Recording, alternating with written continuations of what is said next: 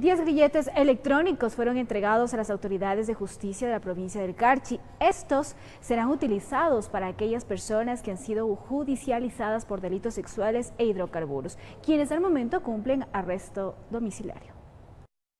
El director del Servicio Nacional de Atención Integral a Personas Adultas Privadas de Libertad y Adolescentes Infractores del Ecuador, Edmundo Moncayo, puso a disposición 10 dispositivos electrónicos de vigilancia para personas privadas de la libertad en la provincia del Carchi que se encuentren en estado de vulnerabilidad y no puedan continuar en el centro de rehabilitación social. Las personas eh, tienen que estar comprendidas en un margen de la tercera edad o que tengan eh, alguna deficiencia que les impida el cumplimiento de su pena en los centros para la privación de la libertad. Por el momento son ocho personas custodiadas por tres policías cada uno. Con el dispositivo, los 24 servidores policiales pasarán a cumplir su misión respectiva. Además, se dio a conocer que las personas judicializadas son por delitos de abuso sexual y contrabando de hidrocarburos.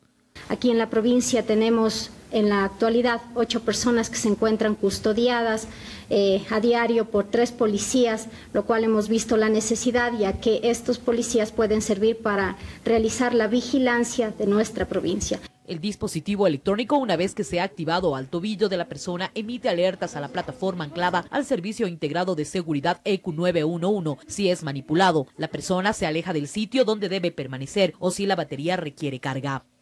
Es por eso importante recalcar que este es un dispositivo que es de confianza, porque si alguien tiene la intención de, de irse, sabe muy bien cuál es el procedimiento para hacerlo.